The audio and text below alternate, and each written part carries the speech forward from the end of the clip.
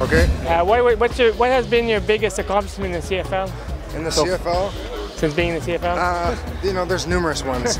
I think my biggest comp- accomplishment was probably winning the Grey Cup in 2009. Uh, I tore my MCL the, the game before, so I had to fight through that the whole week going up to the Grey Cup.